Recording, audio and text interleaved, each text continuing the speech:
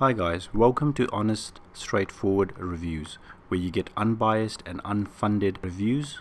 The Apple Magic Trackpad 2 is quite different from the original as it has a larger touch surface, a new attractive minimalistic design, new battery and a built-in Force Touch. Force Touch is the ability for the device to mimic the feeling of a mechanical click. This device has no moving parts other than the power switch, making it more durable. In this second gen, they have taken out the need for batteries and now you have the device with rechargeable batteries, making it sit flat and thin just like the Apple Magic Keyboard 2. It is also rectangular, which enables it to better track movement by mapping it to the display. The trackpad is larger than the one I use on my MacBook Pro 16 inch 2019. It is, it is the largest, which is awesome. You got really big real estate to play with. The new battery is very impressive and only needs charging once every two months for me. A quick two minute charge gives you nine hours of usage while it takes two hours to fully charge the device.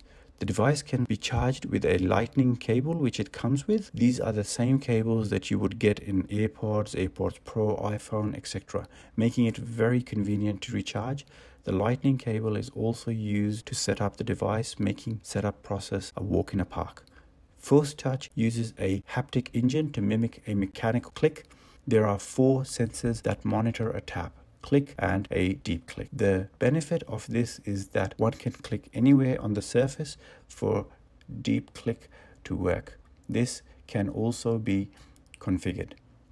The Magic Trackpad has an array of gestures which make it useful and versatile. You can use two, three, or up to four fingers to use a tap, click, or swipe to use features like secondary click, looking up and data detection, zoom, smart zoom, scroll, rotate, turn pages, change apps in full screen mode, uh, notification center, mission control, App Exposé, launchpad, and show desktop, making it super useful. One thing that is missing, in my opinion, is to be able to create customized gestures.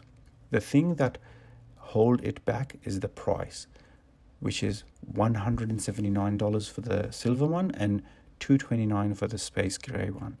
The price is very expensive, especially considering that it just for the space gray color, you would have to fork out another $50.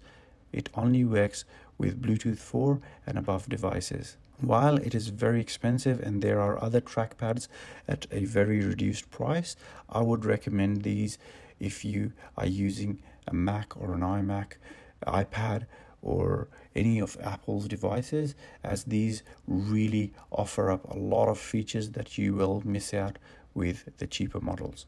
Thank you. Alright guys, that's it from me for today. Uh, let me know what you think about my video in the comments and if you want to support my work and you like to see more videos, please do subscribe and give me thumbs up. Hope you guys have a great day. Thanks.